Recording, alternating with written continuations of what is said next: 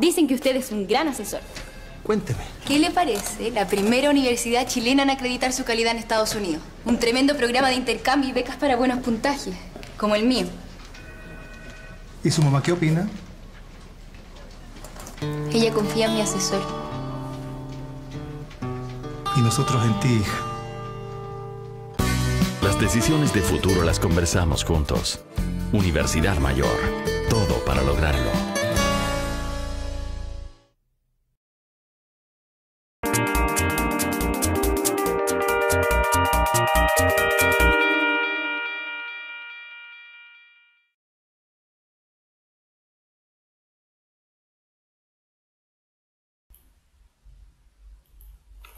Hola chicos, ¿cómo están todos? ¿Me ven bien? ¿Me escuchan bien?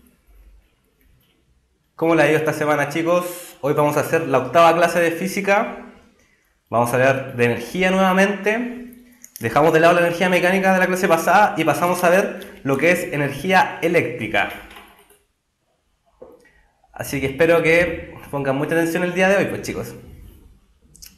Eh, veamos la gente que está en el chat. Empecemos a, a dar unos pequeños saludos mientras esperamos que se conecte más gente hoy. Estaba leyendo en antes los comentarios del chat. Hay hartos nombres conocidos. Bueno, espero que para la clase de hoy se acuerden de lo que vimos en la clase de electricidad y magnetismo, porque vamos a ocupar algunos conceptos que, mm, que usamos para analizar los circuitos eléctricos. Así que espero que esa materia la tengan todavía un poquito fresca para que no perdamos tanto tiempo recordándola. Eh, bueno, ¿qué más podemos mencionar? Que en la clase de hoy vamos a volver a estudiar lo que es la potencia eléctrica y la energía eléctrica asociada a un circuito eléctrico y algunas características de la luz como energía. En las primeras clases vimos la luz como onda, después hablamos sobre algunos fenómenos asociados a su comportamiento como partícula y hoy vamos a mencionar superficialmente algunos conceptos asociados a la energía que transporta la onda lumínica. Así que si estamos todos listos, podemos dar comienzo a la clase de hoy. Vamos a ver energía eléctrica y la luz como forma de energía. Entonces, para empezar, vamos a dar una definición acerca de lo que es la energía eléctrica. Y corresponde a la forma de energía que resulta de la existencia de una diferencia de potencial entre dos puntos, la que establece una corriente eléctrica. La energía eléctrica puede transformarse en muchas formas de energía, como energía luminosa, energía mecánica y energía térmica. Este último concepto de la transformación de la energía eléctrica a energía térmica se le conoce como el efecto Joule, donde hay disipación de calor producto de la corriente que pasa por una resistencia. Entonces, es muy sabido de que la energía se transforma, ¿cierto? No se crea ni se destruye, sino que se transforma. Hay muchas formas de energía y la energía eléctrica tiene esta capacidad y nosotros la aprovechamos de transformarla, por ejemplo, en energía luminosa. Una gran revolución que hubo con lo que es la invención de la ampolleta, etc. Y también la transformación de la energía eléctrica como energía mecánica. Ejemplos de eso pueden ser, no sé, lo, los mismos instrumentos electrónicos que tenemos en la casa, un, una juguera, que la energía eléctrica la transforma en energía eh, cinética, energía de movimiento. Y energía térmica en el caso de las estufas eléctricas. Ahí tenemos un ejemplo de la transformación de la energía eléctrica a energía térmica. Que también no solo es energía térmica en sí, sino que también hay energía lumínica. Entonces vamos a volver a repasar lo que era la potencia eléctrica. La potencia corresponde a la relación que hay en el paso de energía de un flujo por unidad de tiempo, es decir, la cantidad de energía entregada o absorbida por un elemento en un tiempo determinado. Por un, dispositivo donde circula una corriente I y entre sus extremos hay una diferencia potencial, la potencia eléctrica la vamos a obtener mediante esa relación. Va a ser igual al producto entre la diferencia potencial y la intensidad de la corriente. Por lo tanto, si nosotros tenemos un circuito donde la diferencia potencial es grande, también vamos a tener asociada una potencia grande. Y a menor intensidad de corriente, la eh, potencia va a disminuir si nosotros dejamos constante la diferencia potencial. Si nosotros usamos la ley de Ohm y la reemplazamos algunos de esos términos en esa relación, podemos obtener relaciones equivalentes para calcular la potencia eléctrica de un circuito, que puede ser el valor de la resistencia que está conectada. En el caso de un circuito donde hay más resistencia, es la resistencia equivalente del circuito para encontrar la resistencia total. Todo eso multiplicado por la intensidad de la corriente elevada al cuadrado. Y eso también es equivalente al valor de la diferencia potencial suministrada en el circuito elevado al cuadrado sobre el valor de la resistencia. Estos conceptos se pueden aplicar individualmente sobre cada valor de resistencia para obtener el valor de la potencia de cada resistencia. Pero si nosotros deseamos buscar la potencia equivalente, la potencia total del circuito, debemos obtener el valor de la resistencia total del circuito y aplicar estas relaciones matemáticas. Y acá tenemos una definición de lo que es el efecto Joule. Dice que la energía eléctrica que pasa por una resistencia se transforma en energía calórica, debido al efecto del roce que hay entre las cargas al pasar por un medio resistivo. La potencia corresponde a la cantidad de calor disipada en el circuito. Nos vamos a topar frecuentemente con ejercicios en que nos piden calcular el calor eh, disipado por una resistencia conectada a una corriente. Entonces nosotros lo que tenemos que tener claro ahí es relacionar siempre el concepto de potencia eléctrica con lo que es em, energía disipada, porque están directamente relacionadas y están relacionadas en el intervalo de tiempo, con el intervalo de tiempo en que sucede todo eso. Entonces, hagamos una aplicación directa de este concepto mediante un ejercicio. Una, una ampolleta eléctrica casera de 22 watts de potencia se conecta a una diferencia de potencial de 200 volts. Pregunta, ¿cuál es el valor de la resistencia medida en ohms de esta ampolleta. Entonces tenemos dos magnitudes que conocemos, que va a ser la potencia de la ampolleta y la diferencia potencial a la que se encuentra conectada. Nos preguntan cuál es el valor de la resistencia que tiene esta ampolleta. Y para encontrarlo hacemos el uso directo de lo que es la relación matemática para encontrar la potencia. Y en este caso la incógnita va a ser la resistencia de la ampolleta. Entonces si la potencia iba a ser igual a la diferencia de potencial elevada al cuadrado sobre el valor de la resistencia, la resistencia la vamos a obtener como la diferencia potencial al cuadrado sobre el valor de la potencia. Como ahí muy bien han deducido en el chat algunos. Y aprovechando una información, eh, preguntan cuándo empiezan las clases electivas. Quedan dos clases de física, ¿cierto? Queda mm, lo que es la clase del calor y lo que es el macrocosmos y el microcosmos. Esas son las últimas dos clases que quedan de física y terminadas esas dos comenzamos a ver lo que es la materia del electivo. Y también agregar una pequeña información de que en biología van a haber dos clases por semana. ¿A partir de la próxima semana? A partir de noviembre. A partir de noviembre entonces en biología van a haber dos clases por semana. Y el calendario todo eso se va a publicar en la página y en el Facebook de puntaje. Ya. Entonces, si volvemos al ejercicio, ¿cuál sería el valor de la resistencia de la ampolleta?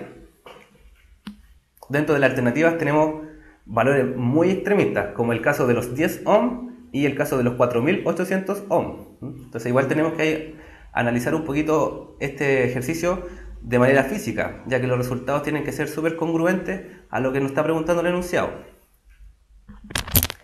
Entonces, eh, respuestas posibles. Todavía no, ninguno se le juega por una respuesta posible. Ya, entonces, si nosotros podemos analizar también el ejercicio sabiendo de que la resistencia y la potencia de un circuito son directamente proporcionales a un valor de diferencia potencial constante. Entonces tiene que haber una relación directa entre el valor de la potencia de la ampolleta y su resistencia. Entonces si nosotros reemplazamos los datos en la ecuación matemática, vamos a obtener 200, o sea, 22 elevado al cuadrado sobre 200. Y eso tiene un valor de 220. Y la fórmula de la potencia, por si se le olvidó, la voy a volver a, dejar ahí puesta en la, en la presentación. Entonces, es la última, la que está justo ahí donde estoy apuntando ahora. Serían 200 sobre 22. Y ahí nos da un resultado de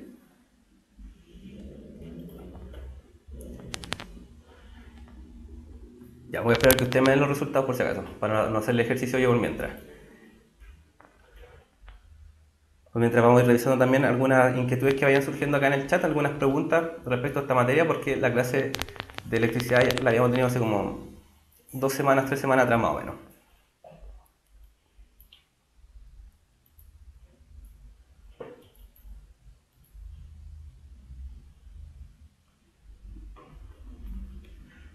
Ya. Eh,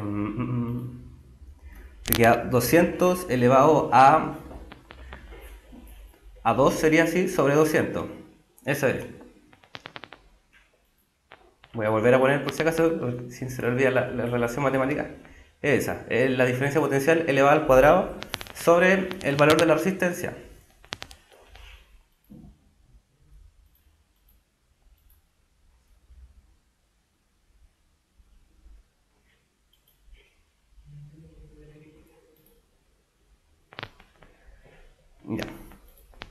Bueno, entonces lo que tienen que hacer nomás es elevar el 200 al cuadrado, 220, sí, el 200 al cuadrado, y dividirlo por 22. De ahí le va el resultado.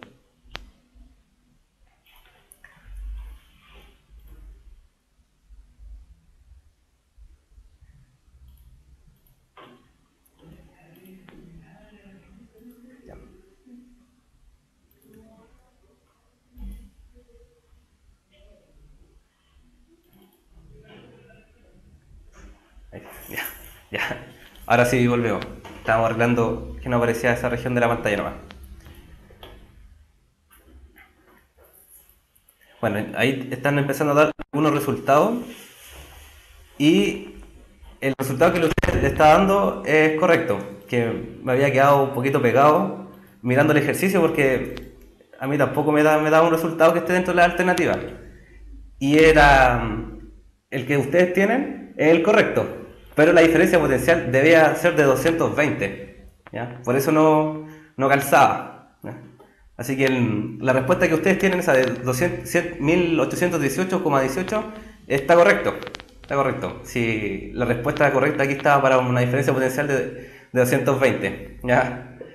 error mío, me equivoqué en escribir la diferencia potencial. Pero ese resultado es el correcto. El de mm, 2200 si está conectado a una de 220 y el de 1818 si lo hacíamos con 200. Así que perdón. Bueno, en la misma. Vamos a hacer una pregunta similar, pero eh, un poquito más teórica. Dice que si se consta con dos resistencias, una R1 y la otra R2, conectadas a una diferencia potencial delta V. Preguntan acerca de la potencia del circuito. ¿Qué es correcto afirmar? A, si va a ser mayor si las resistencias se conectan en series. B, va a ser mayor si las resistencias se conectan en paralelo. C, va a ser igual si las resistencias se conectan en serie o en paralelo.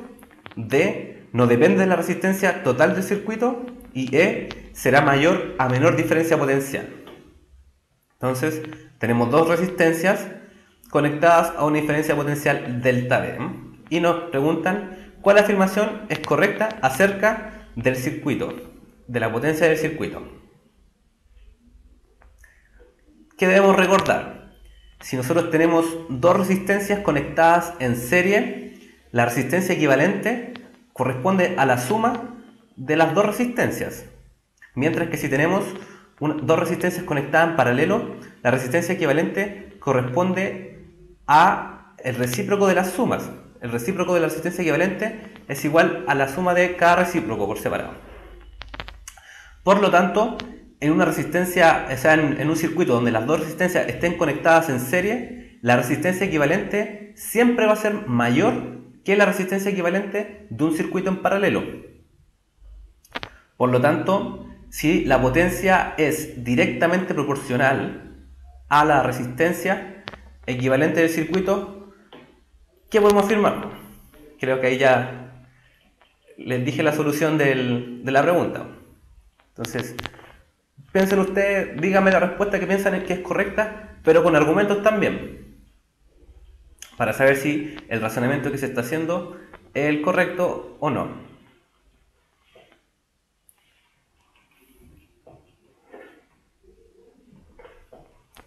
Ya vamos a seguir con entonces la alternativa.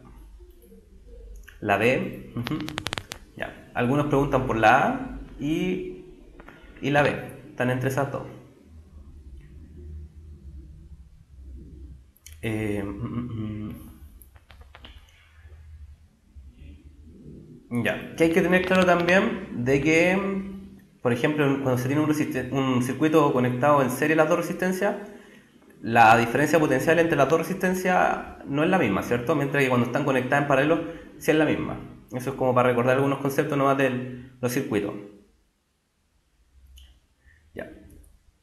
Entonces, en la fórmula que teníamos que potencia era igual a la diferencia potencial por la intensidad de la corriente, ahí iba a ser directamente proporcional a la diferencia potencial y a la corriente el valor de la potencia. Mientras que la resistencia tiene que ser inversamente proporcional a la potencia. Como ahí bien me, está corrigiendo Francisco Roja. Yo lo expliqué mal. Eh, también eso se deduce de las otras relaciones. Por ejemplo, cuando teníamos que la potencia iba a ser igual a delta V al cuadrado sobre R, ahí nosotros también podemos deducir que para un, un valor de, de la diferencia potencial constante, la resistencia y la potencia son cantidades inversamente proporcionales.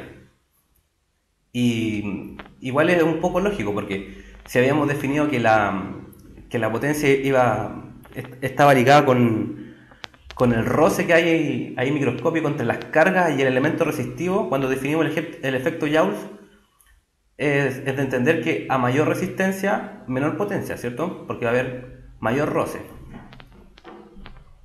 Ya, entonces la alternativa correcta es la B.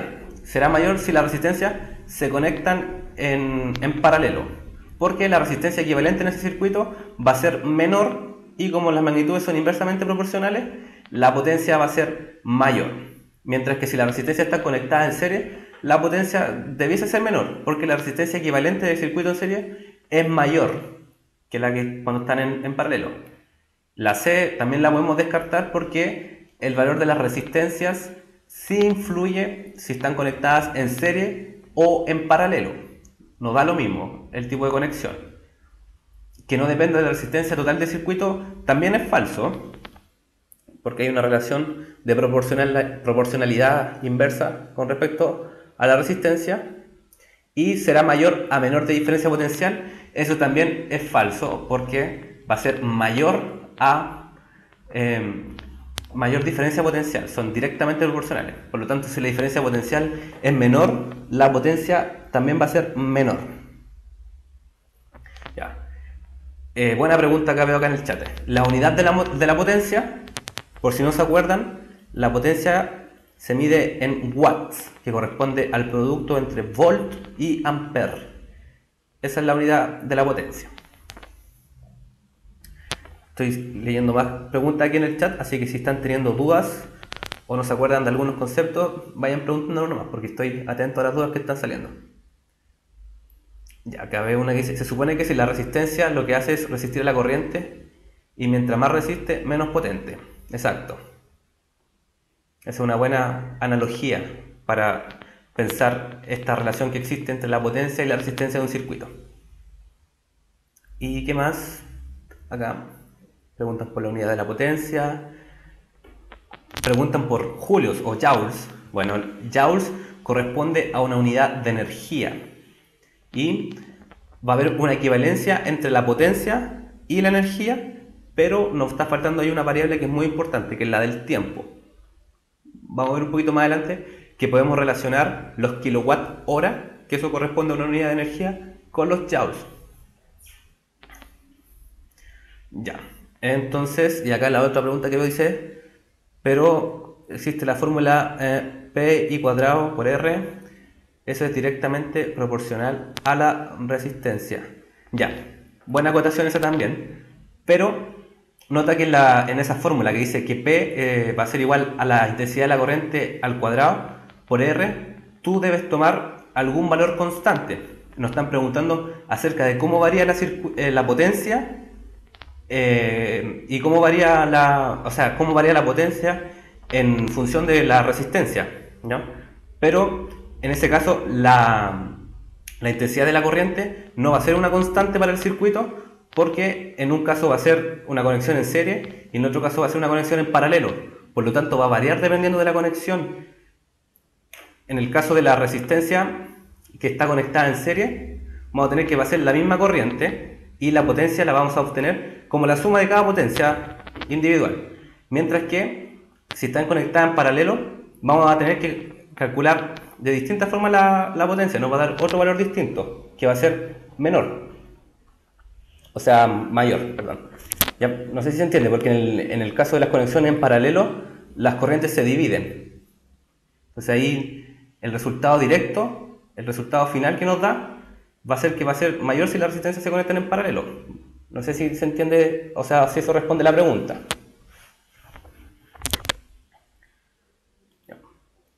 ¿Y qué más iba a agregar respecto a esto? No, no, sigámonos entonces.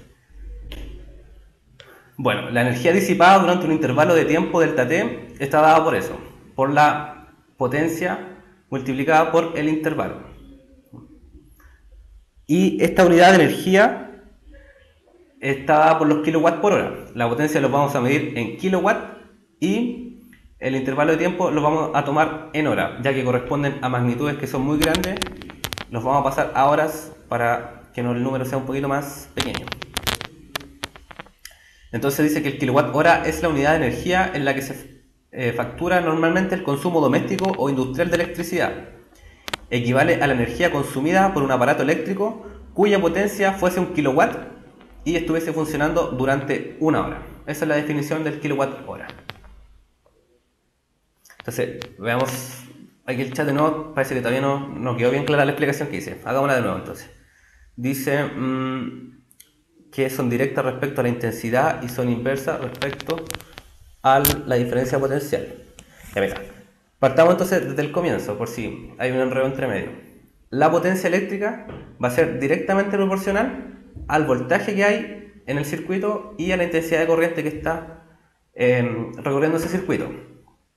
Habían otras magnitudes, o sea, otras relaciones matemáticas para encontrar la potencia, que iba a ser la intensidad de la corriente al cuadrado por el valor de la resistencia. Pero para ocupar ese valor, o sea, esa relación, nosotros debemos considerar ahí la intensidad de la corriente constante. En el caso del circuito en paralelo, nosotros, em, la corriente se divide en dos, ¿cierto? Toma dos caminos distintos. Por lo tanto, nosotros queremos considerar el circuito completo, lo que es equivalente. Y lo único que nosotros ahí tenemos, o sea, sabemos directamente o ya teníamos claro, era que la resistencia iba a ser menor para un circuito en paralelo que para un circuito en serie. Y como son inversamente proporcionales la potencia a la resistencia, ahí obtienes que la alternativa era la B. No sé si ahí se explica mejor.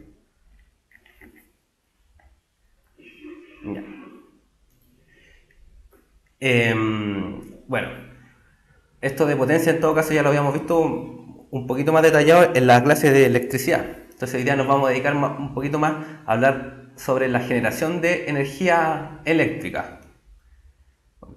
La energía eléctrica para un circuito puede ser proporcionada por una batería o por una pila, ¿cierto? Si alguna vez han hecho ese experimento en el colegio, en que conectan a una batería, un alambre y una ampolleta, etc.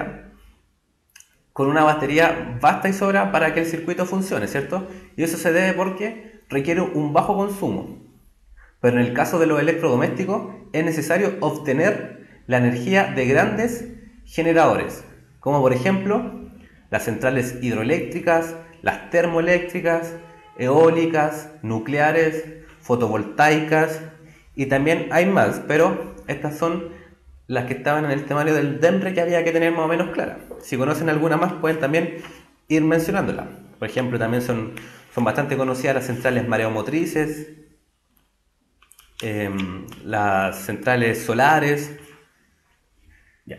Entonces, sería bueno que la, cuando hablemos de cada una de las centrales, em, debatamos acerca respecto de las ventajas y las desventajas que tiene cada una. Aparte también de la eficiencia a la hora de la producción de energía eléctrica. Y hablar también sobre el funcionamiento, ya que hoy en día existe un gran debate acerca de la instalación de centrales de producción eléctrica en varias partes del país porque tienen un impacto, ya sea ambiental como económico, ¿cierto? Y lo más importante, claro, el, el impacto ambiental que tienen sobre las, las regiones donde se están colocando. Entonces, partamos hablando sobre las centrales hidroeléctricas. Tal como dice su nombre, tienen que ver con el agua, ¿cierto?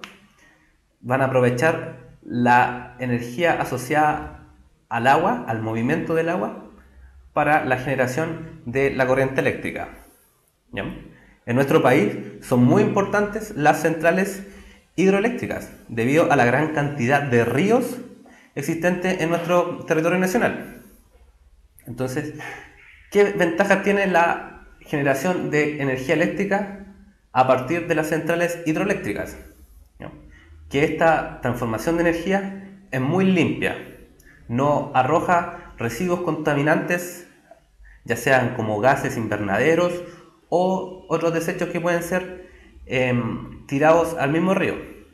Entonces tiene una ventaja muy importante la generación de la energía eléctrica a partir de este mecanismo, porque el impacto medioambiental en ese sentido de la liberación de los gases invernaderos no, o sea, no hay, no, no es dañina.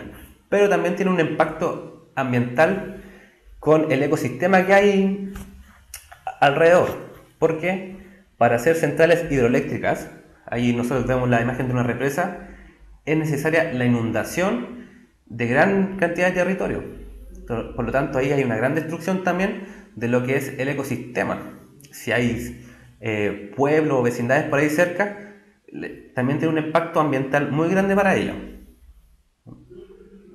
Eh, también tiene una. Otra de las ventajas que tienen las centrales hidroeléctricas, en comparación con la otra, es que tienen un bajo costo de operación, porque no requieren ningún tipo de combustible adicional. Y entre las desventajas, bueno, ya dijimos en que el entorno natural eh, es afectado y obliga también a establecer un sistema de transmisión, ¿cierto? A la, electricidad a nuestras casas llega a través de cables del tendido eléctrico y esta forma en que se va a transmitir porque las centrales hidroeléctricas generalmente están bien alejadas de las ciudades. Entonces, la transmisión a, toda, a cada una de las casas también tiene un coste económico importante para los que son los usuarios. Em, y también una desventaja que tiene esta central es que la generación de energía eléctrica puede ir variando por las condiciones estacionales del año, ¿cierto? Si un año es seco, se va a ver afectada la producción de energía eléctrica en una central hidroeléctrica. Entonces depende también de los factores ambientales para la producción. Eh, entonces, ¿cómo funciona esta central hidroeléctrica? ¿Cuál es el principio de funcionamiento de estas centrales? Entonces hay un potencial eléctrico debido al flujo del agua. El agua tiene energía cinética, el agua se está moviendo. Ahí se establece una diferencia en los niveles de, agua, lo que produce que el agua caiga, producto de la gravedad. Hay una existencia de desniveles, entonces hay una energía potencial gravitatoria, va a haber una energía cinética, porque va a poner en movimiento ese flujo de agua a lo largo del curso de un río. Entonces, el agua es captada por una presa que constituye un lago artificial y es conducida a la central de energía mediante canales, tuberías, túneles. El agua cae debido a la acción de la fuerza gravitacional y acciona enormes turbinas.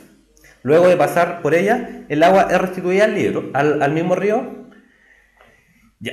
Entonces, la energía potencial que posee el agua cuando va cayendo se convierte en energía de movimiento al pasar por la turbina, haciendo que esta turbina gire rápidamente, conjuntamente con el generador adosado a ella, obteniendo finalmente energía eléctrica.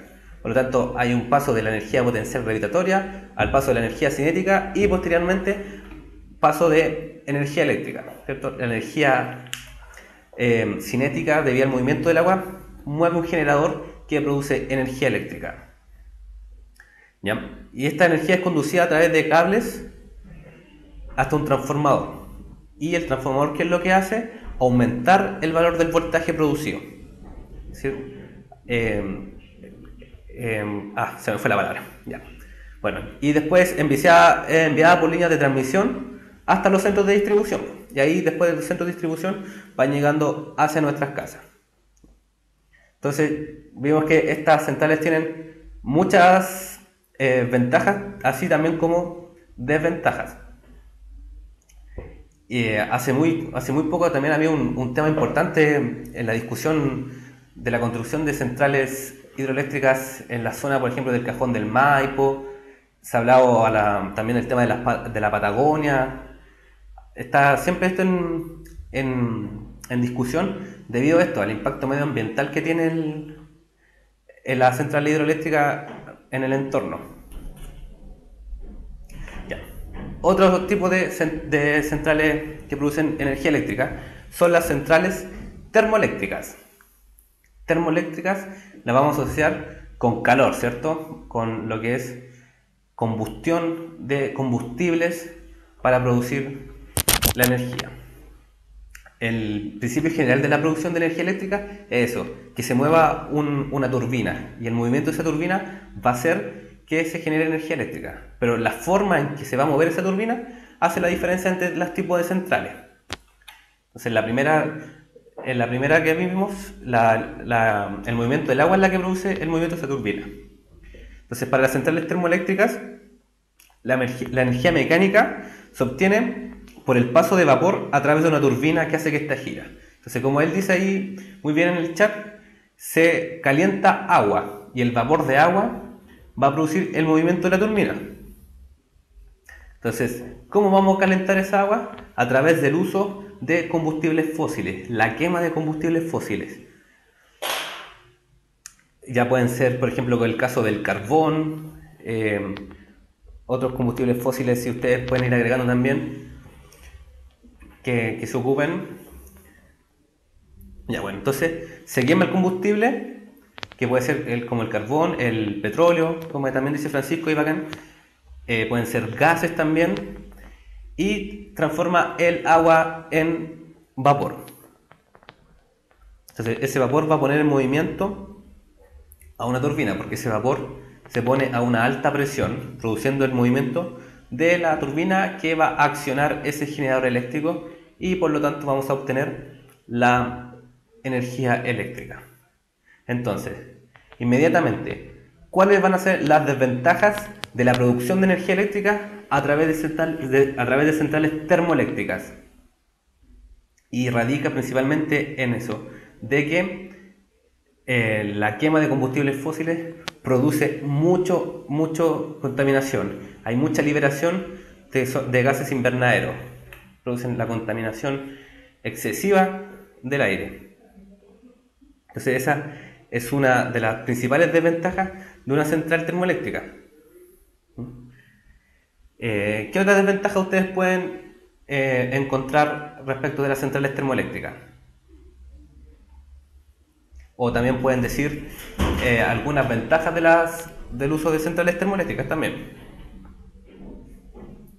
Bueno, una desventaja también que tienen las centrales termoeléctricas es que los combustibles fósiles no son, o sea, no van a estar infinitamente en la Tierra, ¿cierto? Son limitados. Va a llegar un momento en que va a haber una escasez de combustibles fósiles. Por lo tanto, va a haber la materia prima que se usa para el funcionamiento, en algún momento va a dejar de existir, va a escasear. ¿Qué más eh, podemos agregar también. existe también un tipo de contaminación que se llama contaminación térmica, que por ahí lo, lo había leído. Y también van haciendo buena acotación ustedes de que se deben encontrar cerca de eh, fuentes de agua. Pero si nosotros hablamos como el efecto que tiene en el medio ambiente en comparación, por decir, con la central hidroeléctrica, es esa, la liberación de, de gases invernadero, ya que producen el famoso efecto invernadero. Ya. Em, bueno, si ustedes tienen más acotaciones que hacer acerca de esto, las van mencionando, porque creo que esto también entra en la, en la parte de química, ¿cierto? En la parte física igual es bueno saberla, pero no es tan tan tan tan importante. La otra son las centrales eólicas, que aprovechan la energía del viento, ¿cierto? La energía cinética asociada al movimiento del aire.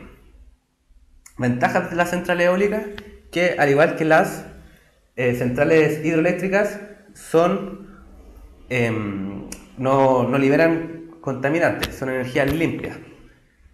Y, eh, ¿cómo se llama? El aire es una, es una fuente que siempre va a estar, ¿cierto? Es una fuente que no es inagotable, pero también depende de las estaciones del año, al igual que la, la central hidroeléctrica, ¿cierto? Porque estamos ocupando, estamos haciendo uso directo de la, de, la, de lo que nos entrega la naturaleza para, para trabajar. Por lo tanto, las estaciones del año a veces van a ser, van a haber menos viento, más viento, etcétera, y eso va a depender obviamente de la ubicación geográfica donde estén cada central. ¿Ya? Entonces, esta energía va a ser aprovechada para poner en movimiento esas aspas de la hélice, ¿cierto? Y va a producir el movimiento de un generador que va a producir energía eléctrica. Ya, otra desventaja que tiene eh, la central hidroeléctrica, o sea, eólica, es que la, el voltaje que es capaz de producir es muy bajo en comparación, por ejemplo, con las centrales termoeléctricas.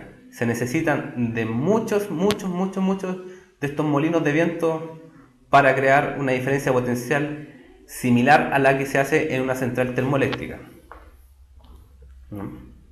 Entonces, eh, esta energía es considerada una de las más beneficiosas para la humanidad entre las energías alternativas, ya que no produce contaminación y, o por material particulado o gases, como en el caso de la termoeléctrica.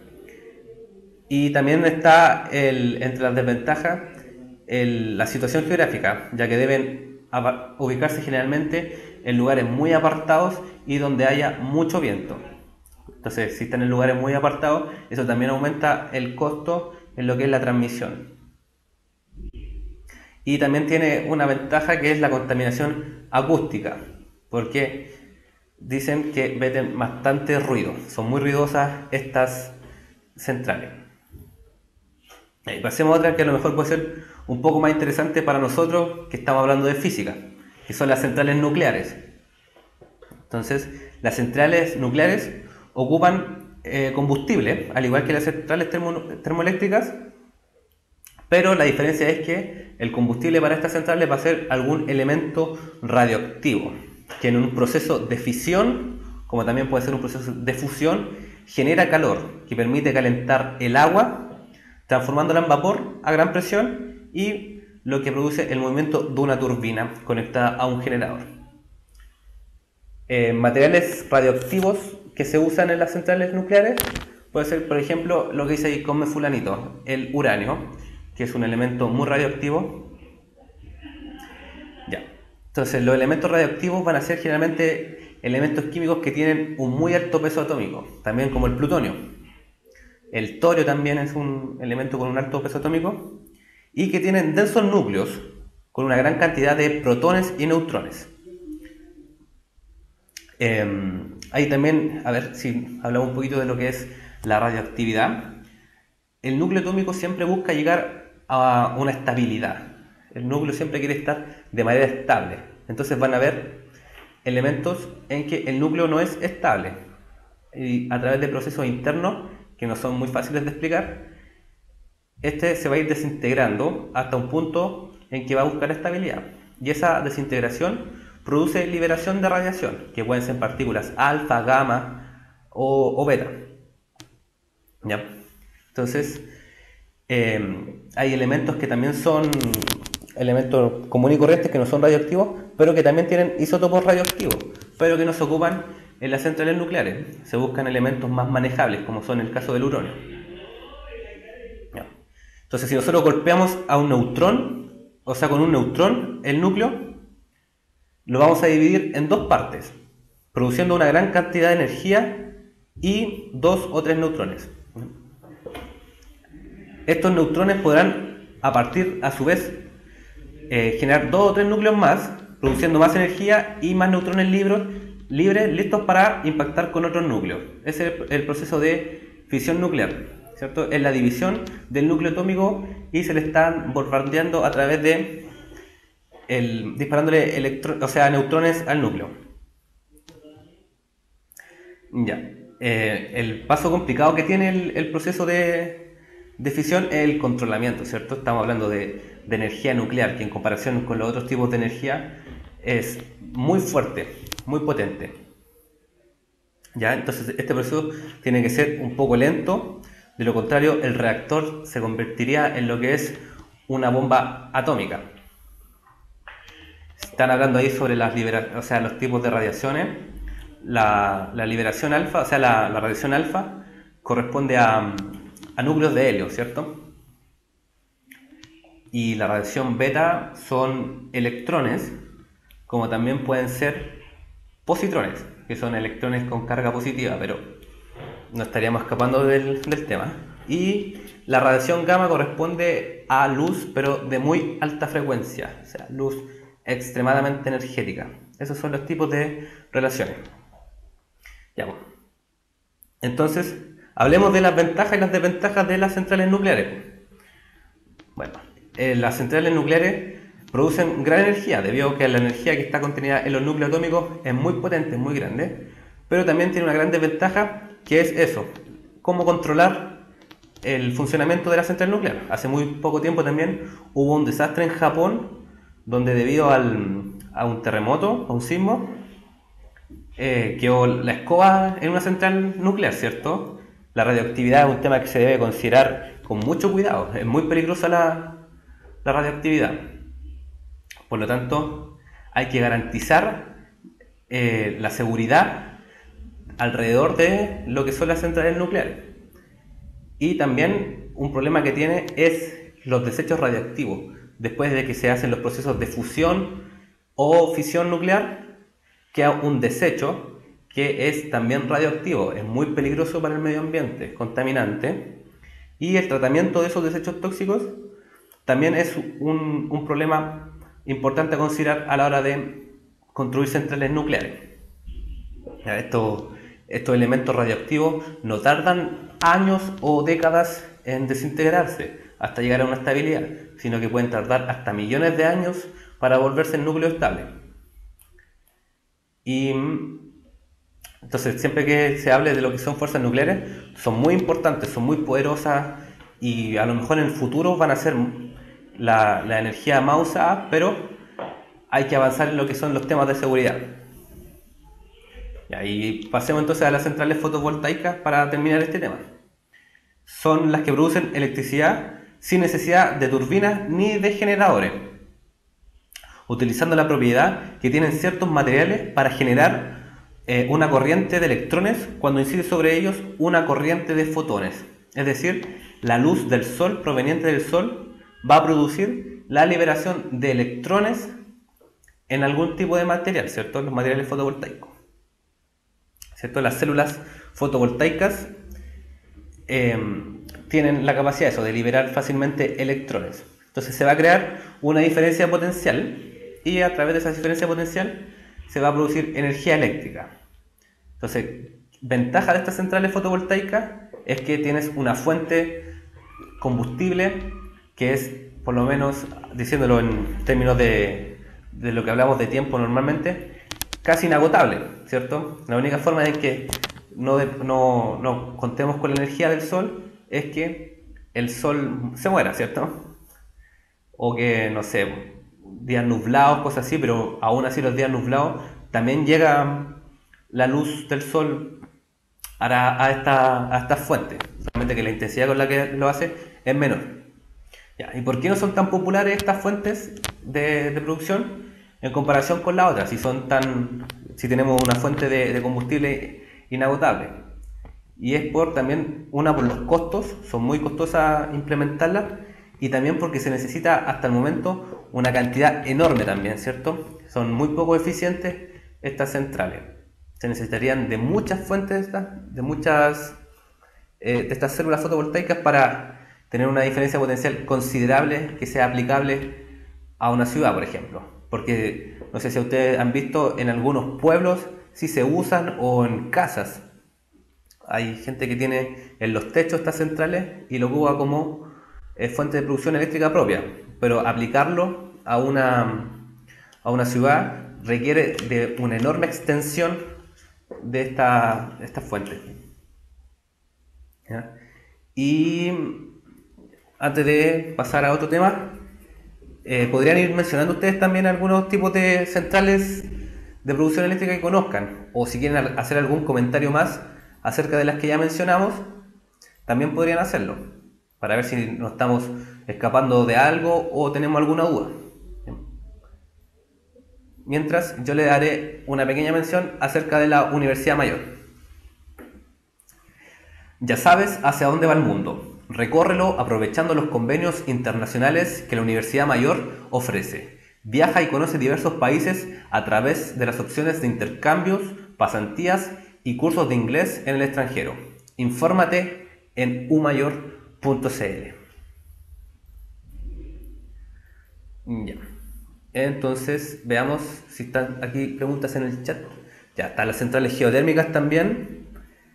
Entonces, esas se producen por la explotación de yacimientos geotermales que existen en algunas partes del planeta. ¿Y cuáles más?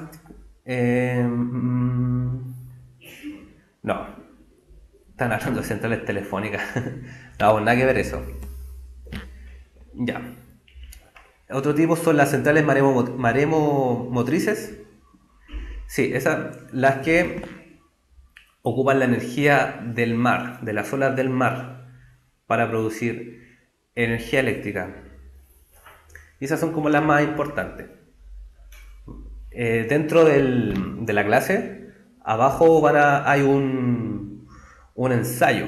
Ahí creo que vienen un par de preguntas acerca de la comparación, las ventajas, las desventajas y todo lo relacionado con las centrales de producción eléctrica.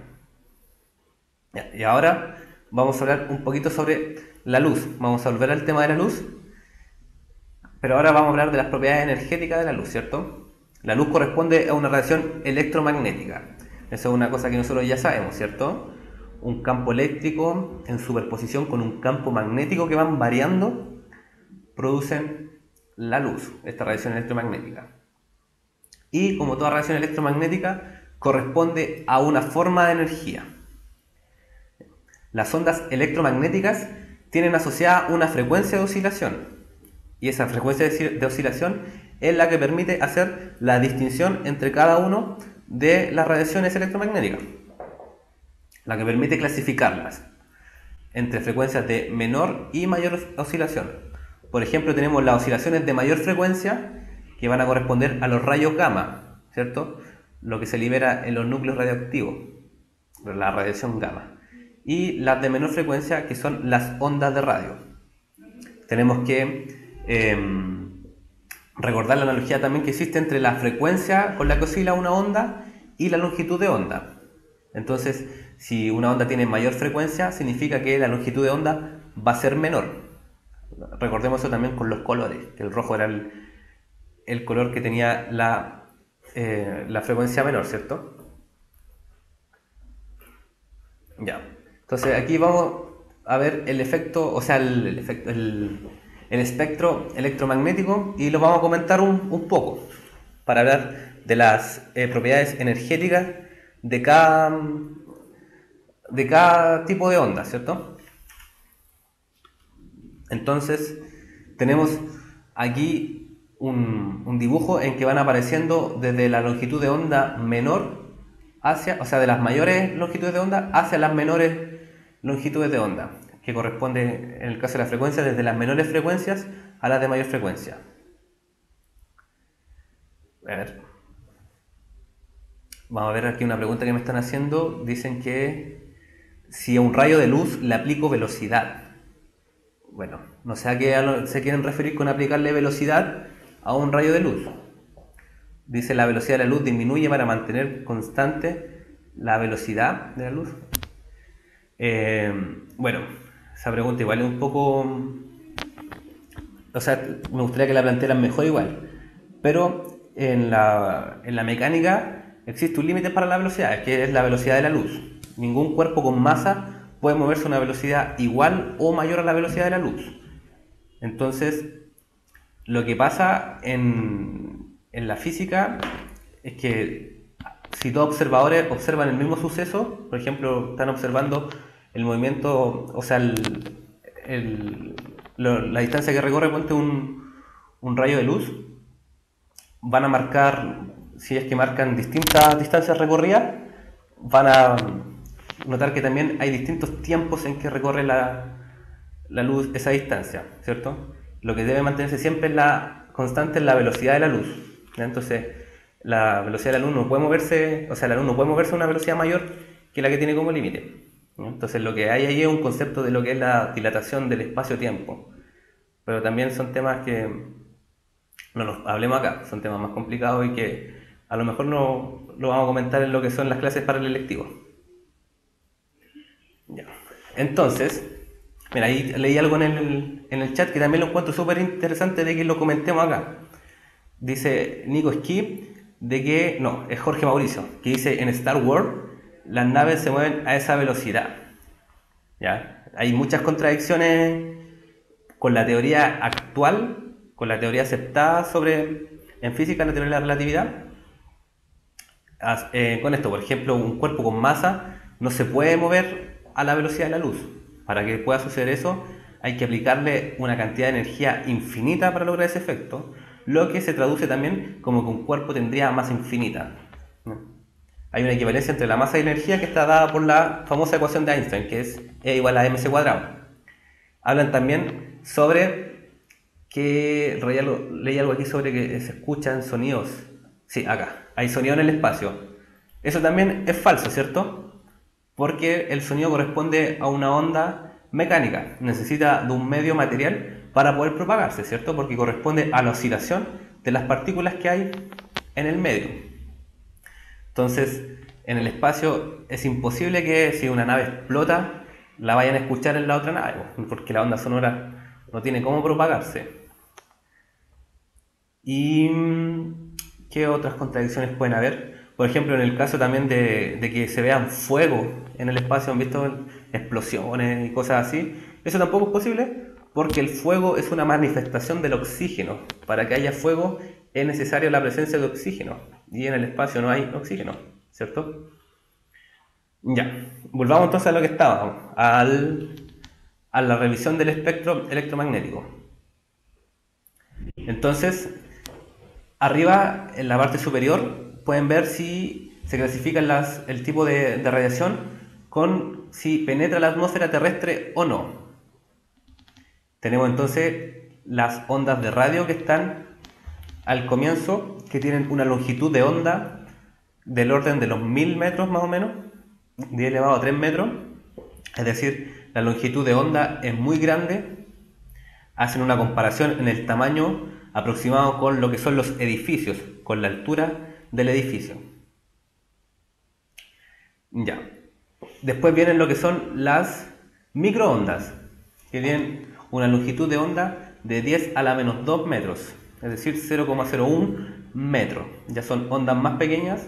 También estamos familiarizados con las microondas en el mismo aparato electrónico que lleva el nombre de esta radiación, que es el microondas, que lo que hace es producir un movimiento de las partículas de agua que están en la comida para que posteriormente se caliente. Ya. Después pasamos a otro tipo de radiación que es la radiación infrarroja. Eh, la radiación infrarroja también la encontramos en los objetos que se encuentran muy calientes. Ahí también se produce eh, eh, radiación infrarroja. Preguntan acá si la distancia en metros representa la amplitud o la longitud de onda. Corresponde a la longitud de onda. Estamos hablando siempre de longitud de onda. Porque es lo que nos interesa. La amplitud de una onda le va a dar otras características pero lo importante para clasificarla es la, la frecuencia o la longitud de onda. Entonces pasemos también a lo que es la luz visible. Cabe mencionar también de que la energía que tiene una onda lumínica es proporcional a la frecuencia con la que está vibrando, ¿cierto? A mayor frecuencia, mayor energía. Por lo tanto, una onda de radio es menos energética que una onda de luz visible. Porque tiene una longitud, de onda menor. Entonces la luz visible se encuentra entre los 0,5 por 10 elevado a las menos 6 metros la longitud de onda. Una longitud de onda súper pequeña.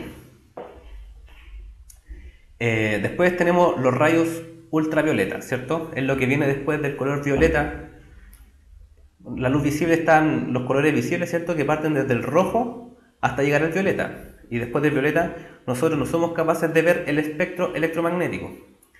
Pero lo que viene después es el, la radiación ultravioleta, que tiene el orden de los 10 elevado a menos 8 metros de longitud de onda. Eh, la, la, radiación, toda esta, no están por separada. No es decir que por un lado lleguen las ondas de radio, por un lado lleguen las microondas. Todo esto es parte del espectro electromagnético. El, espectro electromagnético es una superposición de todos estos tipos distintos de, de onda. Eh, entonces, pregunta acá, dicen que preguntan qué involucra que el rojo sea de menor frecuencia y el violeta el de mayor.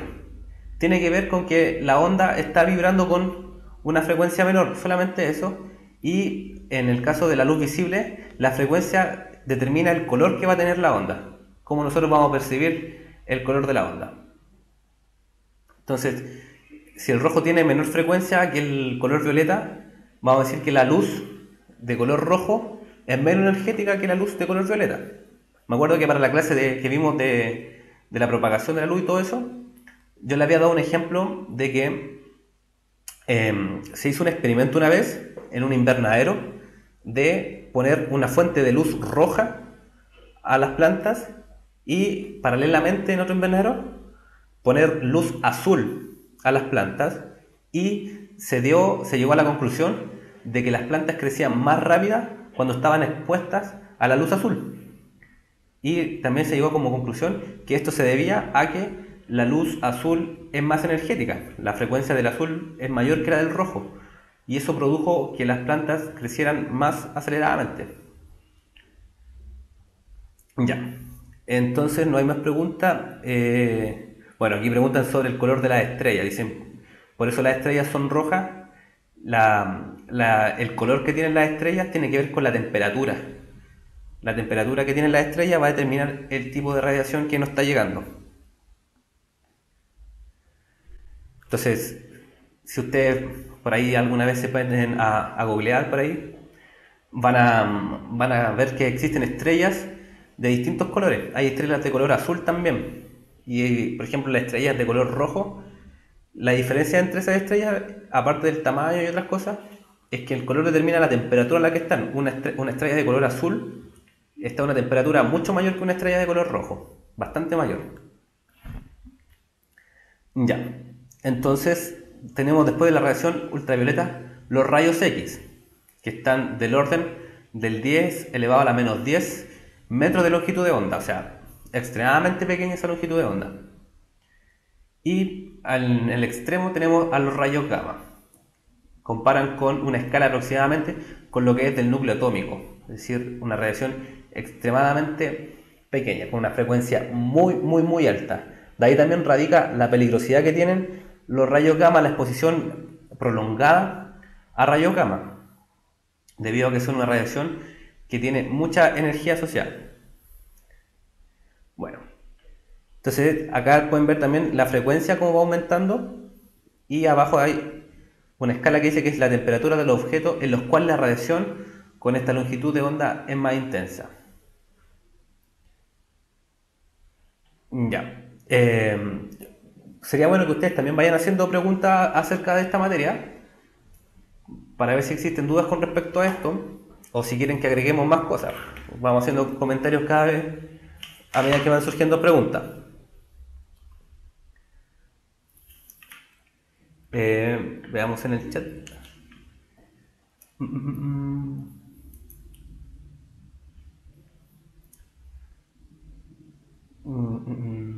Ya, no, hay preguntas hasta el momento en el chat. Entonces, si nos tienen preguntas, podríamos pasar a hacer más ejercitación, ¿cierto? Yo los voy a dejar entonces con la pregunta desafío.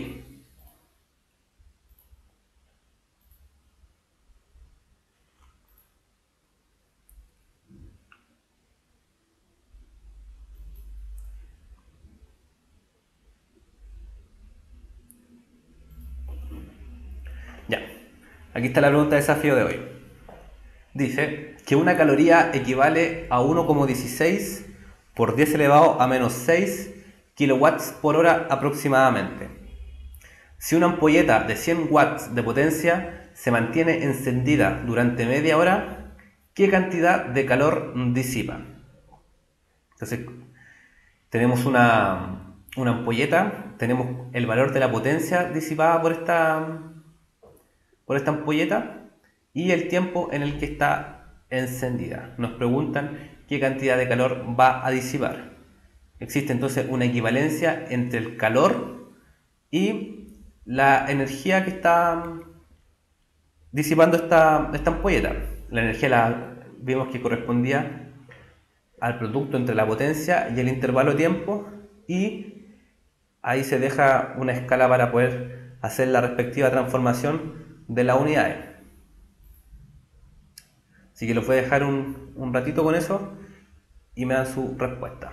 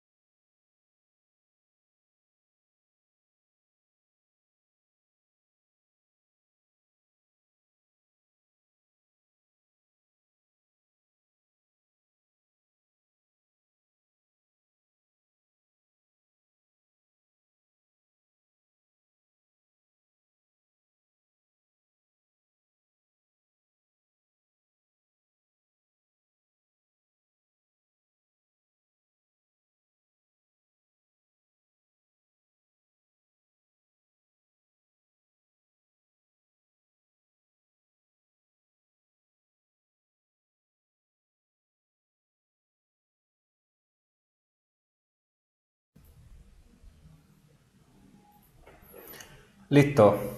¿Cómo les fue chicos? Estaba muy difícil la pregunta.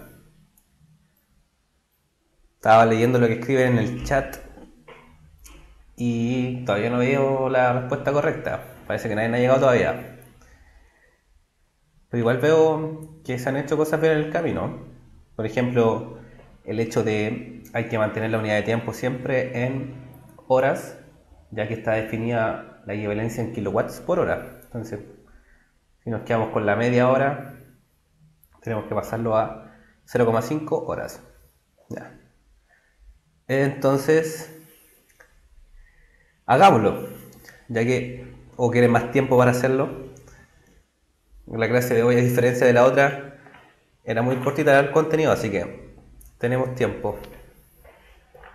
Así que si quieren los podemos hacer nosotros también.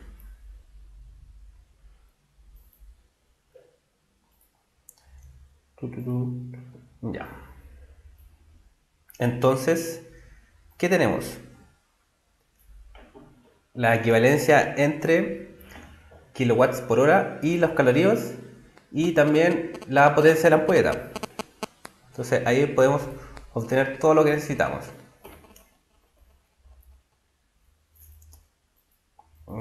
Entonces el enunciado nos dice que una caloría va a ser igual a 1,16 por 10 elevado a la menos 6 kilowatt por hora. Quieren que saque esto, ¿verdad? Ahí sí. Y tenemos que la potencia de la ampolleta es de 100 watts. Esos son todos los datos que tenemos a partir del enunciado. ¿Cómo tenemos la energía entonces? La energía corresponde a la potencia por el intervalo de tiempo. Ese también dato lo teníamos, que eran 30 minutos. Es decir, 0,5 horas. Entonces, podemos calcular la energía que está disipando esta energía, o sea, esta ampolleta. Y la energía disipada por la ampolleta corresponde a el calor disipado.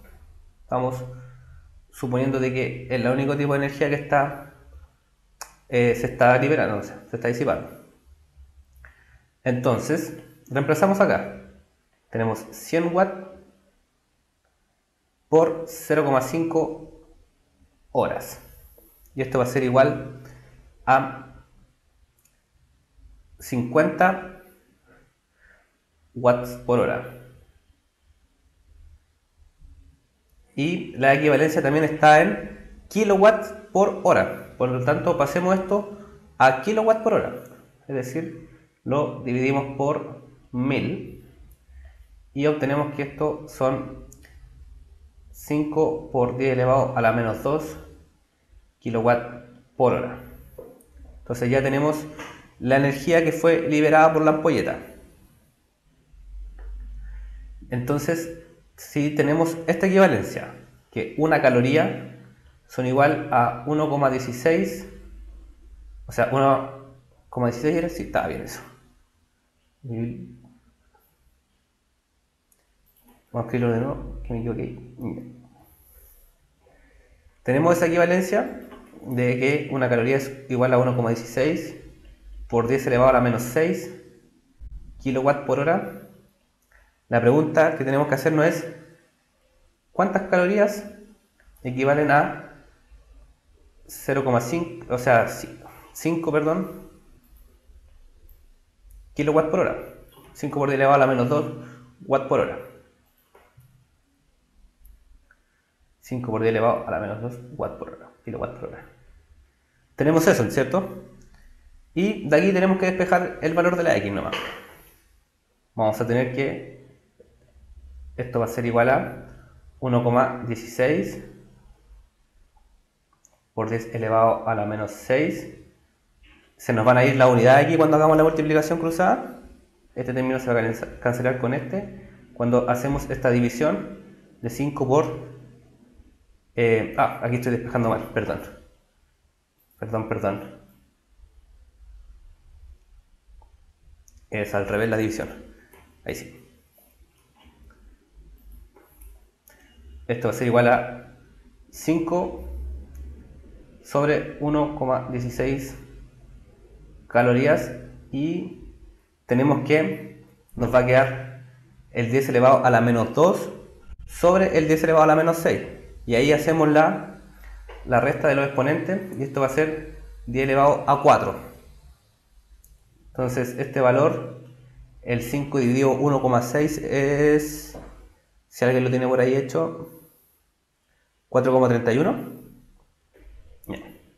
esto entonces 4,31 por 10 elevado a 4 calorías. Ese va a ser el calor disipado por la ampolleta cuando esté encendida durante una media hora. En todo caso, nosotros estamos asumiendo de que la energía que está siendo disipada por esta ampolleta es solamente calórica. Estamos obviando la energía lumínica. Entonces, eh, el enunciado igual debe ser un poquito más, más claro en eso y si existen dudas obviamente hay que hacerla. O sea, hay que preguntarla. Entonces, eh, si se dan cuenta, la pregunta no era tan complicada. De hecho, era solamente la aplicación directa de la relación para calcular la energía, que está relacionada con la potencia, y hacer eh, conversión de unidades, nada más que eso. Así que es una pregunta relativamente sencilla, que no debe haberle complicado tanto. Yo creo que lo complicado de esto es el tema que nos metan unidades nuevas, ¿cierto? La conversión, porque ahí nos entramos a desesperar un poquito. Ya, entonces, si la copiaron o si está todo listo, eh, espero que me hagan más consultas acerca de, mm, de la clase de hoy, acerca de estos temas. Si quieren agregar algo más, a mi parecer con todo lo que vimos hoy es suficiente por lo menos para responder en la PSU, pero nos quedan alrededor de 7 minutos, así que si quieren hacer algunas consultas más, lo de potencia lo habíamos visto creo que más bien en la clase de electricidad y magnetismo, así que lo que tienen que saber es de potencia, manejar bien qué relación existe entre la potencia y la diferencia potencial y la intensidad de corriente de un circuito. Em, tener bien claro también el concepto de que cuando nos hablan de consumo eléctrico siempre nos están preguntando por la energía consumida, no por la potencia. En la, en la cuenta de la luz que nos llega a la casa, siempre viene la, lo que nos están cobrando nosotros por la energía consumida, viene en kilowatt por hora. Entonces hay que tener claro de que la potencia es la mm, energía que se está consumiendo por, unidad de tiempo. Eh, ¿Qué más podemos agregar sobre esto? O sea, tener bien claro también lo que son los circuitos. Porque la pregunta que habíamos hecho de cuándo la potencia iba a ser mayor o menor, teníamos que tener bien en claro también en qué caso la resistencia de los circuitos va a ser mayor o menor. Y respecto sobre el espectro de la luz como energía, o sea, debemos tener claro de que la luz, al ser una onda, transmite energía. Está en la definición de lo que es una onda, que es una propagación que se mueve a través del espacio, que no transporta materia, pero que sí transporta energía. Un fenómeno también importante que también lo vimos en la clase de, si, no recuerdo mal, en la de óptica, fue lo del efecto fotoeléctrico, ¿cierto? Que cuando uno dispara luz de una frecuencia específica sobre placas, placas metálicas, son capaces de producir la liberación de electrones y por lo tanto una corriente eléctrica. Entonces existe una energía asociada a la luz que se va transmitiendo a esa placa produciendo el movimiento y por lo tanto una corriente eléctrica. Em, y preguntan acá también si solo entra el de resistencia también condensadores. Los circuitos con condensadores solamente eh, van a entrar para el electivo de física. En, el común no se va a preguntar acerca de condensadores, solamente lo que es ley de Ohm. Esas tres magnitudes, intensidad de corriente, diferencia potencial y resistencia eléctrica. Acá hay una pregunta, dicen, ¿todos los tipos de radiación son dañinos? Bueno, la radiación gamma es una radiación que es muy potente, o sea, es muy energética, y la larga exposición a la radiación gamma sí es dañina, pero no toda la radiación gamma tiene la misma mm, energía. La radiación gamma depende de factores que están dentro del, del núcleo atómico, pero no tiene la misma energía. Eso tiene que ver con, con los niveles de energía que hay en el átomo, ¿cierto? Entonces, dependiendo de eso, la radiación gamma va a ser más potente o menos potente que entre ellas. Pero, por ejemplo, la radiación alfa, que corresponde a núcleos de helio, eh, no es tan dañina. Si no tengo mal entendido, la que más, más eh, destructiva es la, la gamma, la más perjudicial para el, para el, por ejemplo, para el cuerpo humano. Esa radiación puede atravesar, al tener una longitud de onda tan pequeña, puede atravesar cuerpos que tengan una densidad muy alta. Cuando uno está tratando con elementos radioactivos, generalmente se suelen cubrir con bloques pesados, muy gruesos, de plomo, para que la radiación no escape hacia el exterior. Pero aún así, parte de ella logra escapar, a donde tiene una longitud de onda tan pequeña. Eh, ¿Qué más podemos agregar para terminar la clase de hoy? que la próxima semana eh, yo no estoy seguro si va a haber clases. Tengo entendido que el próximo viernes es feriado. Así que estén em, mirando la página para ver si se va a hacer la clase o no. Y la información que nos habían dado delante de que la, van a haber dos clases de biología por semana a partir de noviembre. Y eso, con eso estaríamos listos. la próxima clase, que ustedes verifiquen en la semana si se hace este bien o no de no ser así, ya nos estaríamos viendo la próxima semana, va a ser de eh, el calor. Con esa última clase vamos a terminar de ver la energía, esa parte de, de la materia eh, importante para la PSU. Eh, seguro que van a entrar preguntas asociadas con eso. Así que mm, igual traten de estudiárselo un poquito para que tratemos de abarcar todo. Y después vamos a terminar con la clase del macrocosmos y microcosmos. Y después lo que sigue van a ser solamente clases del electivo. Para los que obviamente el electivo de física. Así que nos estaríamos viendo la próxima semana si nos están quedando más dudas. Así que nos vemos si la próxima semana o la otra, ahí ustedes ven en la página. Bueno, que tengan un buen fin de semana, fin de semana todos chicos. Ejerciten harto, cada vez queda más poco para la PSU, así que ánimo nomás y póngale bueno. Así que nos estamos viendo pronto. Chao chicos.